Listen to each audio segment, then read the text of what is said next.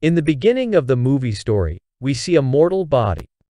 In the meantime, the boys come here. When they turn on the light, they get scared of seeing her dead body.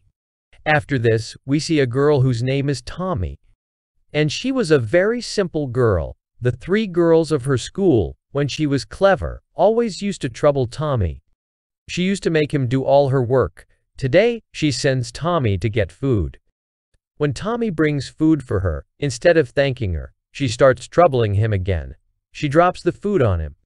A girl takes out a piece of bread from the food and puts it on Tomie's head. And she makes him stand to aim at the fake man. By mistake, Tomie got hurt, and she fell down with the fake man. All those girls had aimed at the wrong target, but even here, she makes fun of Tomie and leaves. And from there, Tomie gets up and goes to a shop. Here, Tomie likes a necklace, but because its price was very high, she couldn't buy it. She doesn't want to break her heart, so she ignores this necklace. Then another girl comes to the shop. She takes the same necklace and puts it on Tomie. She looks at it and says that it looks good on you. Joking aside, she puts the necklace on Tomie. And she holds his hand and brings it out. Seeing this, Tomie was quite surprised. Because that girl didn't know Tomie. Here she asks him his name. Okay, tell me your name. On which he tells her name, that my name is Tomie. That girl is surprised and asks, okay, your name is the same. My name is also Tomie, but the full name is Kawakami. If both have the same name, then today you are Tomie and I am Kawakami. Here, she removes Tomie's glasses and says that you look more beautiful without them. Try to take off your glasses. Coming home, Tomie starts thinking about her. And when she looks at herself in the mirror, she decides to remove her glasses. Then she lights a candle in front of her mom's picture, from which we came to know that many years ago, Tomie's mom died. But when her dad came, he and Tomie ate together. The relationship between the two is not very good. They talk to each other very little. The next day, when Tomie was coming home from school, she met those three girls again, who again started bothering her. But she ignores them and comes home, and she tells her dad that today, my friend Kawakami is coming to our house. So you do this. Go out of the house for a while because Tomie felt that if his dad was at home, then he would disturb both of them. Now her dad has agreed to go out. But when she was wearing her shoes, Kawakami came here. Seeing her, Tomie's dad was quite surprised. He was also quite surprised to see that both of them knew each other. But her dad ignored her and left from there.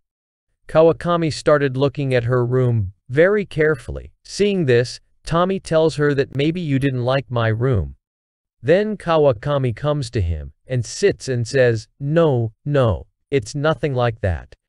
Your room is very beautiful. Then, to make her happy, she kisses Tomie, like she does to a little girl. Seeing this, Tomie was very impressed. Anyway, here Tomie shows her a story written by him. Actually, Tomie was always lost, and she kept making stories with her mind. In the stories, she kept herself that is, she used her character.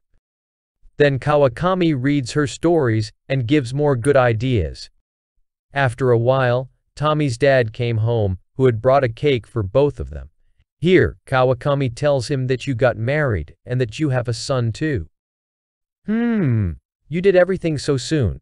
Tomie's dad was surprised to hear this, but he didn't understand anything here about why she was saying such things. But Kawakami leaves from there in anger. Now seeing her angry, Tomie feels that my dad must have said something to her. That's why she asks him, Dad, what did you say to my friend? She left in anger. Then her dad says that, and I didn't say anything to her. But Tomie still leaves angry with his own dad. The next day, Tomie and Kawakami travel the whole city. They enjoyed it a lot. After that, they lie down under a tree. Here Kawakami asks her, what do you like about me? Then she replies that she likes everything about you. Your beautiful hair and such beautiful skin are, are very beautiful. After that they decided that we would always be together. a snow factory was shown where Tomie's dad used to work. When she was going home on her bicycle, Kawakami came to meet her and brought her to the park. Here she says that I am the same Kawakami, who my friend ended up with 25 years ago. That is the same girl whose dead body we saw in the beginning. And with this, the story comes to the past. We saw that when Kawakami was with her friend, she was quietly looking at Tomie's dad. And seeing him so close, she started getting jealous. Because in her heart, she liked Kawakami.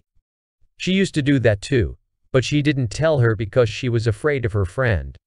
That's why she always stayed away from him. But one day, Kawakami's friend found out that they liked each other.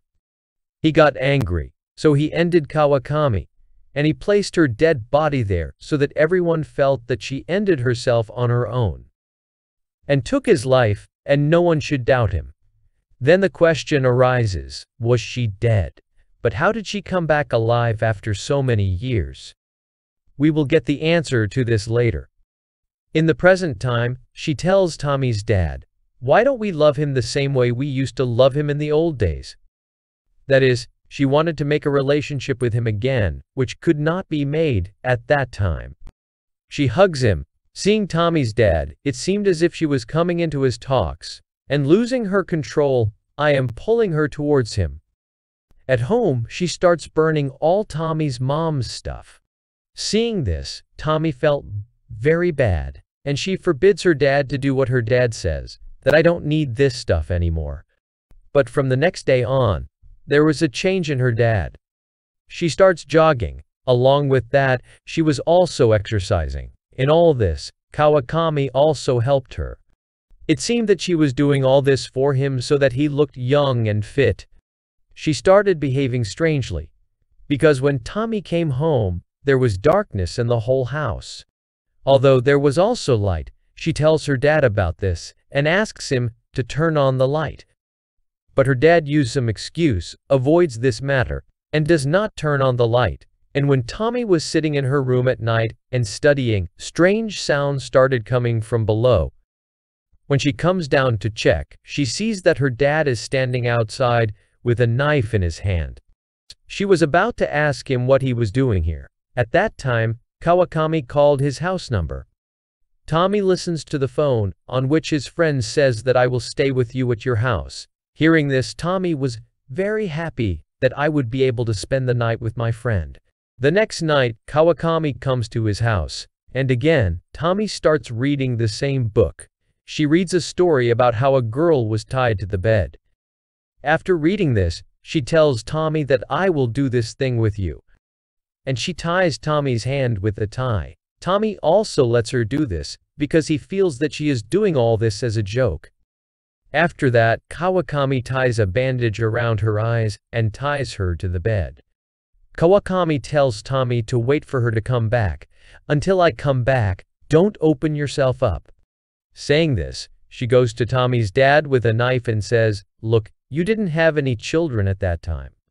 So, obviously, it shouldn't happen now. Which means she wanted her dad to end Tomie. But because her dad knew that it was a girl, he clearly refused. On this, she starts telling him, What kind of man are you? You are afraid of being a man. Now her dad is in control of Kawakami. And he goes to end Tomie with a knife. But on the way, he realizes that what I am going to do is wrong. And now, he started getting angry at Kawakami. So he attacks her with a knife. The knife hit her head directly. Due to this, Kawakami dies on the spot. Now Tomie's dad had to quickly fix her dead body. So he brings her dead body to his ice factory. Then he puts it in the machine and divides it into pieces. And then he throws it into the river. And by now it was morning. Tomie dreams that Kawakami is coming out of the river. She is scared. And now she quickly opens her hands. Now her dad starts seeing Kawakami again and again. Then she gets angry and starts strangling him. But later, she finds out that I am actually strangling Tomie. Seeing this, she is very nervous. On this, her dad apologizes. Now Tomie asks her dad where Kawakami is, So now he tells her that he is not a human. He is a demon. He died 25 years ago, and he has come back after so many years to get me. After telling him all this, she shows him a picture of Kawakami from years ago. Seeing this, Tomie is surprised. Also, she explains to her heart that all this is a lie. Now, her dad also tells her that she came to control me, but I ended up throwing her in the river. Now Tomie ignores this for the time being. She herself comes to the river, and she starts looking for Kawakami here and there. Then she finds the severed head of Kawakami there. He was alive, and he asked for help from Tomie. But seeing his condition, Tomie started getting scared. Seeing this, Kawakami tries to control him. She reminds her friend that we were such good friends, so please help me with her, on which now Tomie comes into her talks. And she picks up her head and hugs it.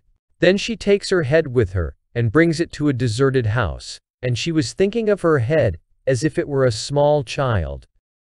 And she feeds her child's food. She also sees with her own hands when she comes home in the evening that dad's condition is still very bad because she was seeing the spirit of Kawakami again and again. The next day, Tomie goes to the children's market, and from there, she buys clothes for her head, like children's clothes. Because now Kawakami's body is regenerating. That is, it was being born again, but his new body was not human. In fact, it looked like a creature. And she used to take care of him. She used to carry him on her lap, bathe him, and take care of him a lot. When she took him out in the afternoon, a woman was very scared to see him. She started screaming in fear. She cries and runs away. Then, when Tomie takes her ahead, she sees a girl who is bothering Tomie. And she was also very surprised to see Kawakami with her. She also tells this to her other friends. But she doesn't believe it, so she gets angry that it's been so many days. We didn't bother Tomie. Now, when she was changing Kawakami's clothes and seeing her changing body, Tomie's condition started getting strange. Because she was looking so beautiful, she started getting sick. That's why she comes to the roof with him. She hugged him and said, please forgive me, but I can't take care of you in the future. Now hearing this, Kawakami shows her real face and says that I consider you a friend. My friend Monica was just pretending, because I really died once, but I wanted to regenerate, so that I can get your dad. Now hearing this, Tomie believes that dad was right. That's why she tells Kawakami that I was wrong. I didn't believe what my dad said. You are really a demon. You are not a human. That's why you can never be like humans. Hearing this, Kawakami gets angry, and she bites her arm which she falls off the building. Now Tomie is very sad because of all this. That's why she starts crying there. The next day, the girls go to Tomie's house. She opens the door and comes in.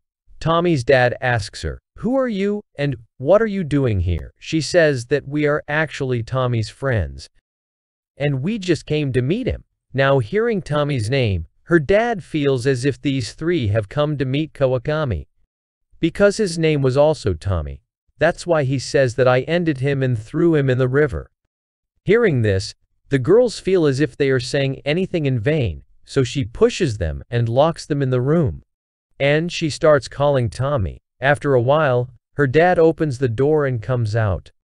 And he starts asking her, What do you want from Tomie? She says that we want to end him.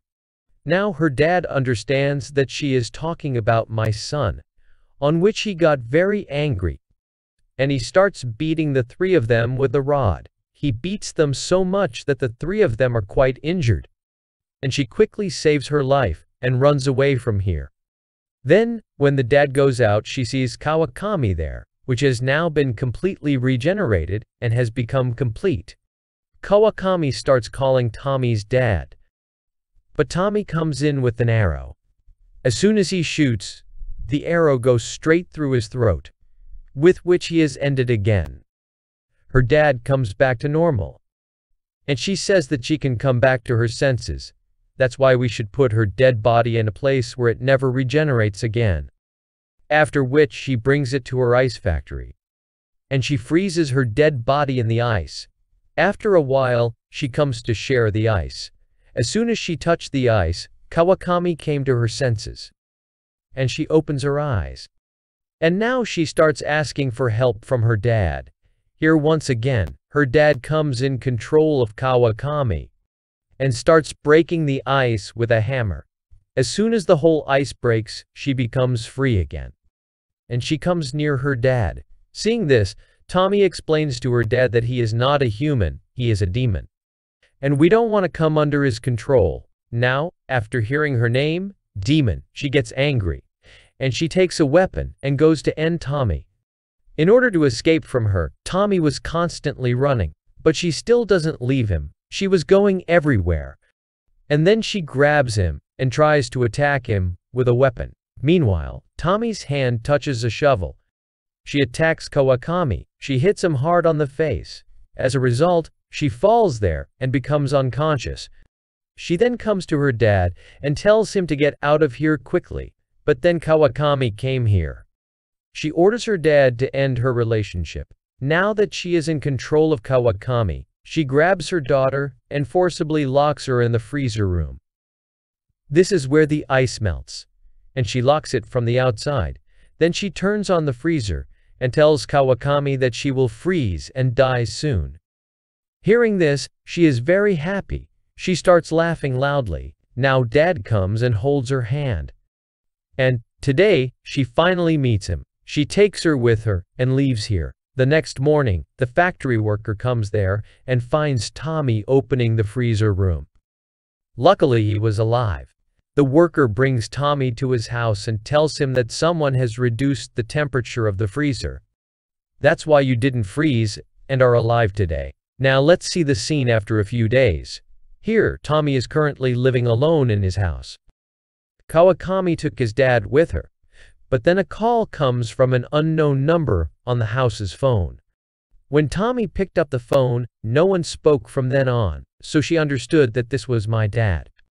And she thanks him here. Although her dad was in control of Kawakami, but still, he deliberately kept the temperature of the freezer low. So that nothing happens to his daughter. That's why Tomie's life was saved. At night, when Tomie was writing his next story, a strange sound started coming from the same drawer. When he checked, it was from a box. Kawakami's divided ear comes out, which was regenerating very quickly. And with this, film ends here.